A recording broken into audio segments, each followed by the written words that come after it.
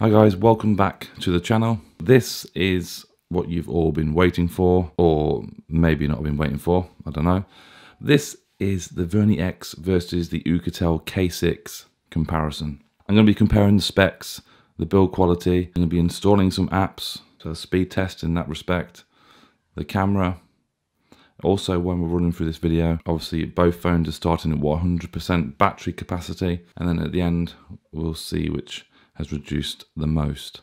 And hopefully, I should cover most aspects on these phones. So, to start off, we have the Vernee X here and the Oukitel K6. Let's try the boot up process and speed. Hopefully I can time this right.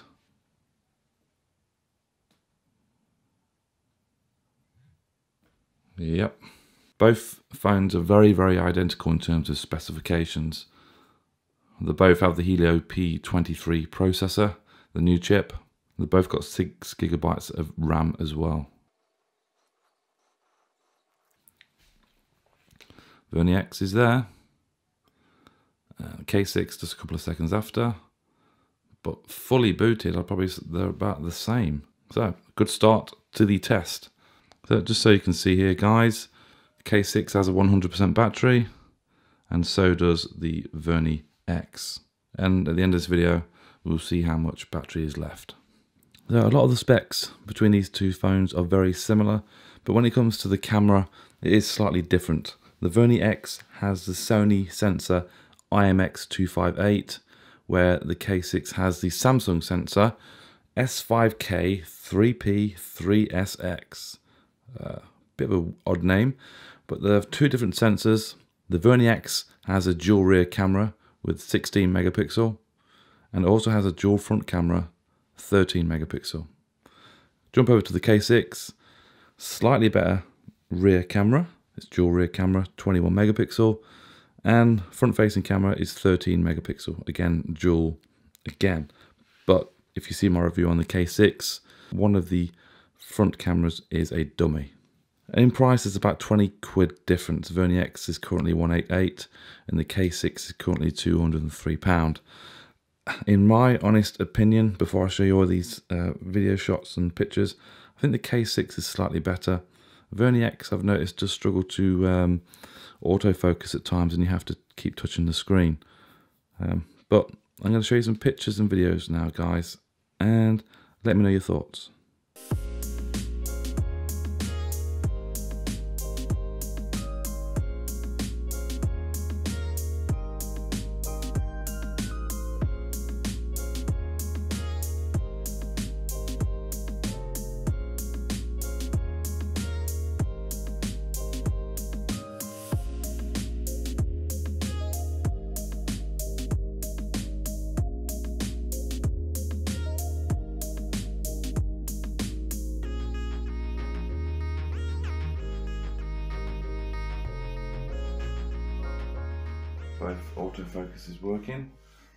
My studio at the moment, or my office, with artificial lighting because it's quite dull outside.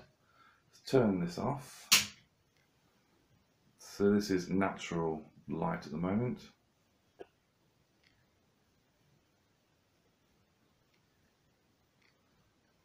Tell me which one do you prefer, guys? Both seem to autofocus pretty well.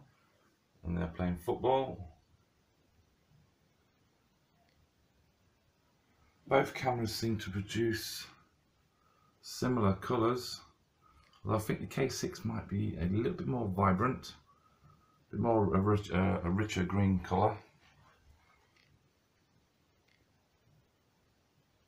Cool. Me in the mirror.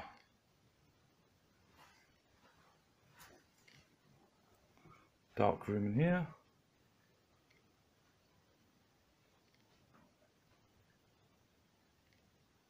So obviously there is a bit of noise coming in here now. Both are still focusing okay. K6 seems to be a little bit more brighter. What are you what are you lot doing, you alright?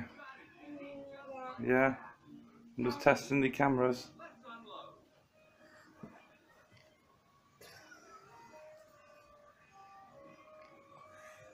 Yeah, it's a bit wet outside.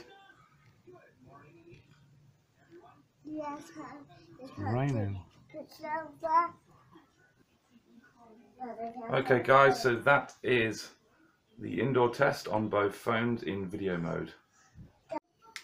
There's probably not much point in testing the front facing video on both of these phones um, because of the audio sync issues we have. So what I'm saying now is not matching up to uh, my lips. But I'll show you in terms of just video quality and light. The Vernee X is recording in 480p whereas the K6 records in 720p. So K6 has got a little advantage there, I'd say, um, and the quality looks pretty decent as well. But the audio is out of sync. So let me just take you here. I'm in front of a window at the moment, and we're back into the office.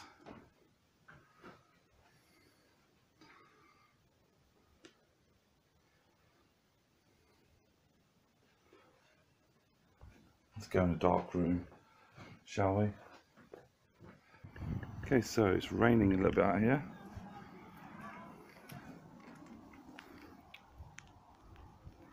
Both looking good on autofocus.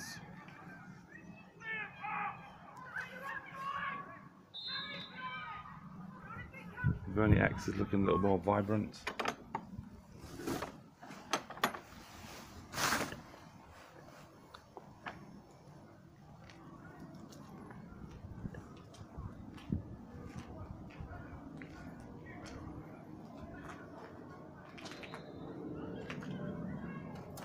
Let's get close to that.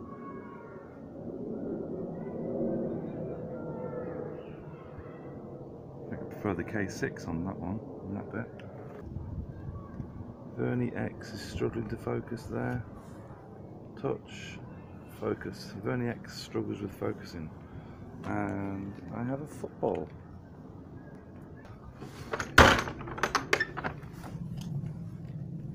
There's brick wall. Again, the Vernee X is struggling to focus. Touch focus works. Let's have a look at this. K6 looks a lot natural in terms of colour. The Vernee X is not looking too natural at all there. I think the K6 does have the better camera. I'm coming. I'm coming. Yeah. So a combination of front and rear facing footage there.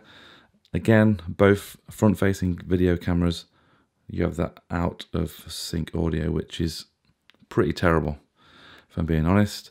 Hopefully both phones will release an update to rectify that. But that is the camera war out of the way. Let's jump on to the next. Okay, so we're going to jump onto the thickness of the phone. The Vernee X, just on the left hand side here, has a thickness of 9.8 mil, and to the right, the K6 is 10.4 mil, and you can even see uh, the difference there with the K6. It is quite a bit thicker. Both, you can see down here at the bottom, have USB Type-C, which both support fast charging, and batteries take around a couple of hours to get to full charge. There is not much in it at all in terms of height and width on these smartphones. The Vernee X is slightly taller with 15.95 centimeters compared to the 15.87 centimeters on the K6. But then the K6 is slightly wider, 7.64 centimeters as opposed to 7.6. Not much in it at all. The frame and the body on the phone on the Vernee X is full metal and the K6, the body and the frame is also full metal as well. Very, very similar. Now we come to the back of the phones. Both of these phones are actually plastic backs.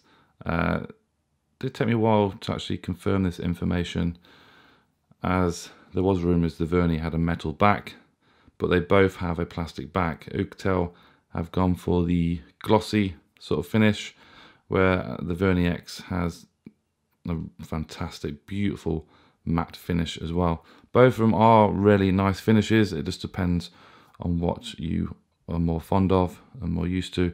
Me, I prefer holding the Vernee X. It does feel a little bit better in the hand. Both of these smartphones have absolutely excellent screens and the specifications are pretty much identical. Both are 6 inch screens, 2160 by 1080p and with a screen ratio of 18 by 9. None of them are Gorilla Glass and none of them have either got scratches or marks on them. So whatever they're using, it's still quite hard wearing. The K6 does go slightly brighter, but then sometimes some icons can look slightly a little overexposed in, in my opinion. I personally prefer the Vernee X display, but there isn't much difference. A closer look at the Vernee X display.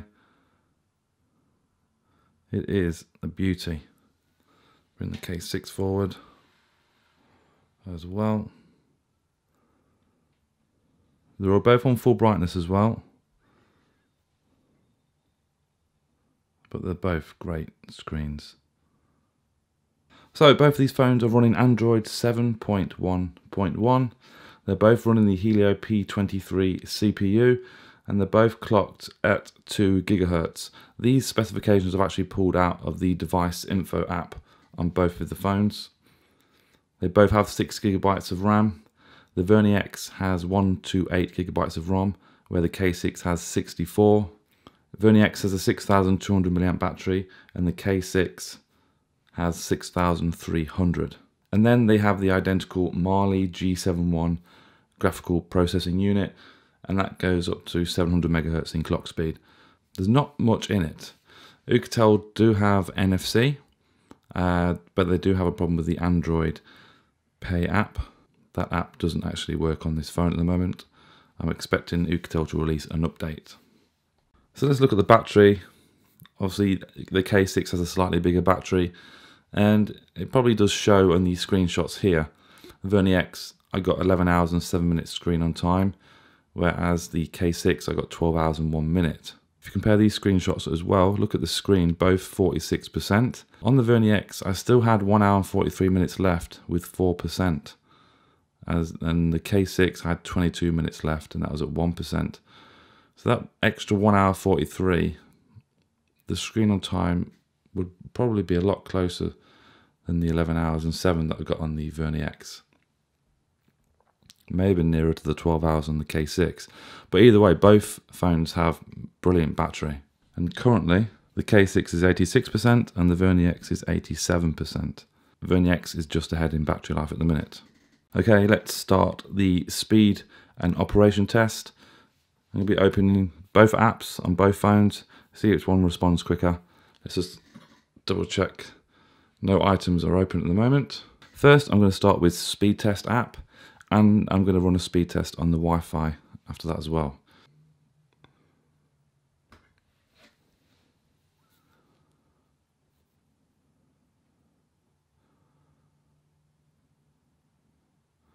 Oh, that was close. I think the K6 just nipped that.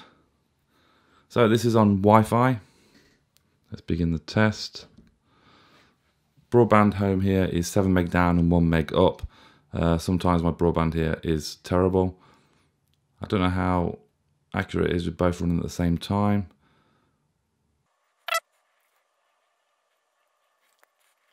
Okay, so we've got three down and half a meg up. Now we're not at full strength either on the Wi-Fi, about half strength. So I am upstairs a couple of floors away. I'm not too concerned about those speeds from here. Let's open up device info.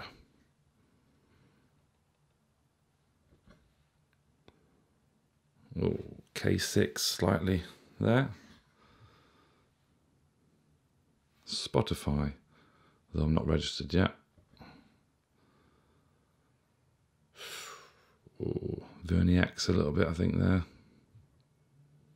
Let's open, let's turn GPS on. GPS is on. Let's turn the GPS test on. pretty bang on accurate. Let's see how many satellites we get here.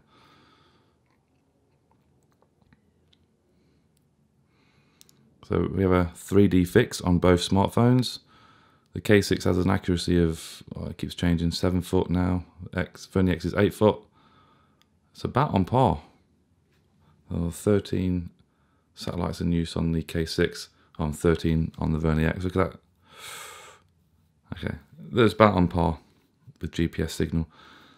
And the app opened up more or less exactly the same time on both. Great. Okay, let's open up YouTube.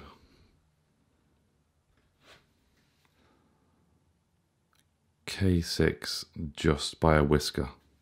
Let's open up the camera app.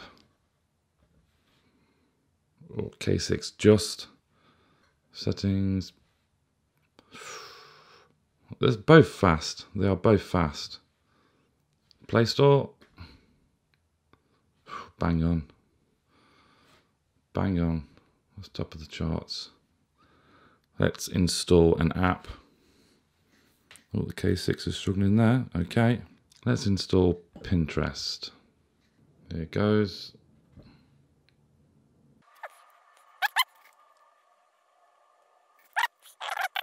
Oh, neck and neck. Oh, the Vernee X just by a whisker. Okay, cool. Okay, as you can see, it is an absolute tight one to call. Vernee X won some and the K6. And that's what I expected, really, with the same, different, you know, with similar hardware and specs. There's not going to be much in it at all. What I'm going to do now is I'm going to open Asphalt Xtreme and record footage on both phones and layer it over the top of each other so you can sort of um, maybe spot any differences in gaming. First of all, let's open the app, which boots up faster. Hopefully network connectivity is fine.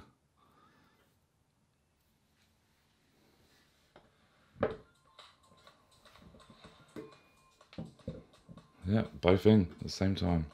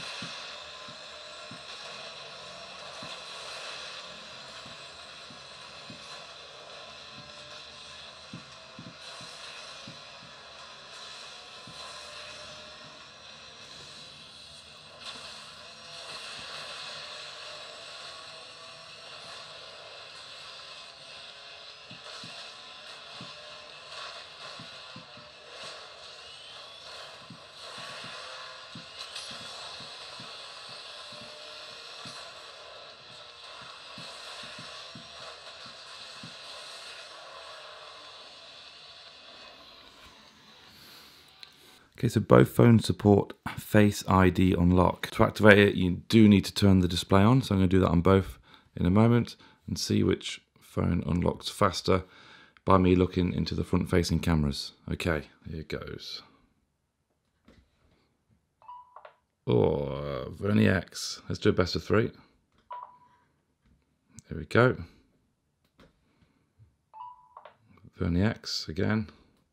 So let's do the last one anyway. Yeah, Vernee X, much quicker at Face ID unlock.